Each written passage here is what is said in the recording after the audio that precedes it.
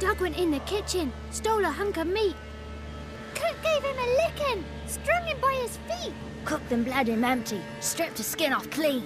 Laughed and said, how tasty, best sausage I have seen.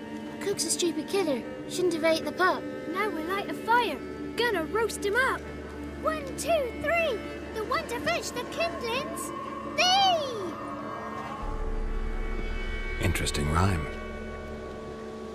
Don't know you.